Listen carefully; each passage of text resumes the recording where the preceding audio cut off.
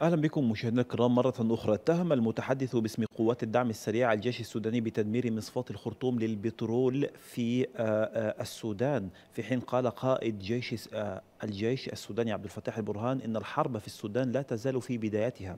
وقال متحدث باسم قوات الدعم السريع إن سلاح الجو السوداني هو الذي دمر بالكامل مصفاة الخرطوم للبترول أكبر مصفاة للبترول في السودان بعد قصفها بالبراميل المتفجرة واصفا ذلك بالعمل الإرهابي على حد تعبيره.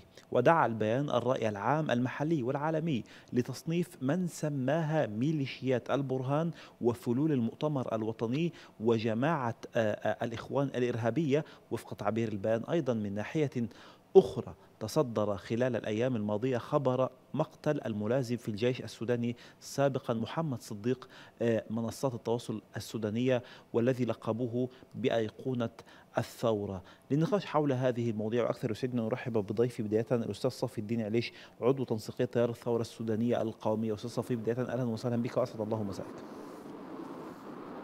السلام عليكم ورحمة الله. مرحبا بك وبالمشاهدين أهلا بك أستاذ صفي. إذا الجيش آه، البرهان يتهم آه، آه، الجيش أو ما سماها بميليشيا البرهان ميليشيا الإخوان وأيضا ما سماها الجماعة الإرهابية وفلول النظام. اتهمهم بأنهم من قصفوا بالبراميل المتفجرة أكبر مصفاة للبترول في السودان وهذا يعني يعرض الاقتصاد السوداني إلى كارثة حقيقية. برأيك كيف تصف لنا الأوضاع الآن؟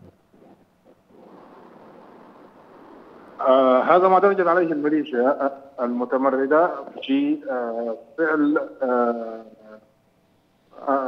أحاديث صحفية وتقارير إعلامية لتضليل الرأي العام عن الموقف الذي آه، يحدث فعليا على الأرض آه، الجيش السوداني آه، قام بقصف آه، فقط مخازن أو مستودعات للوقود الجاهز التي كانت تستخدمه الميليشيا ولم يصب جسم المصفاة في حد ذاته بأي أضرار حتى الآن.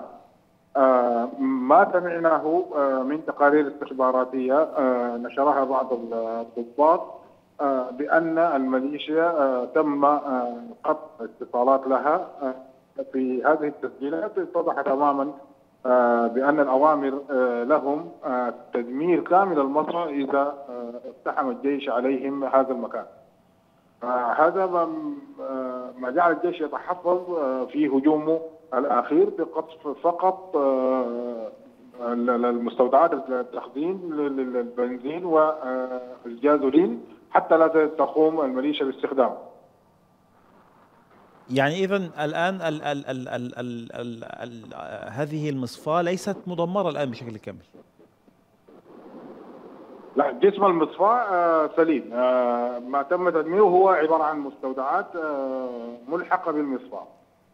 طيب هذه الحالة من البروباغندا التي يقوم بها ميليشيا الدعم السريع والتي يدعو إلى الشعب السوداني والرأي العام السوداني والمجتمع الدولي للتدخل من أجل إنقاذ السودان مما سماها الميليشيا الإرهابية آه، آه، ميليشيا البرهان برأيك هل سيكون لها تأثير آه، على الأقل داخليا؟ لا أعتقد. فالرأي العام الداخلي في الغالب هو على درايه بما يحصل. فالجيش والشعب آه، الآن وكثير من أبناء الشعب السوداني آه، انضموا لصفوف المقاومة آه، الشعبيه أو المقاومة المسلحة. ولذلك فهم على دراية بما يحصل وبما يحدث. ومعظم أبناء أبناء الشعب السوداني وكثير من الثوار الذين كانوا في الثورة السودانية الآن هم على هبة الاستعداد للمشاركة مع الجيش وقد أعلن البرهان في آه، عزاء آه، أحد الضباط السابقين الذي كان قائدا من قوات المقاومة الشعبية آه، الملازم محمد صديق نسأل الله أن يتقبله. أعتقد أن البرهان في كلامه في العزاء كان واضح في خطبة العزاء بأن الآن يتم تسليح كل من يريد حمل السلاح من أبناء الوطن آه، ليدافع عن آه، السودان ويدافع عن وفقا لما يراه الجيش حسب خططه العسكرية. أي أن هناك لن يكون هناك سلاح متفلت خارج عن طوع الجيش وهذا كلام واضح وكرره البرهان وكررته قيادات الجيش على عدة مرات ولكن الميليشيا ما زالت هي تصر على أن هذه المقاومة الشعبية هي مقاومة تنتمي للتيار الإسلامي القديم وهي مقاومة إرهابية وهي مقاومة يجب أن تؤد قبل أن تواجه هذه الميليشيا. ولذلك الآن هم في موقف صعب جدا. فالان العمليات العسكرية خصوصا سلاح الطيران في خلال الثلاث أيام الماضية قام بقصف قوي جدا على كل المحاور في العاصمة في ولاية الجزيرة وحتى في دارفور.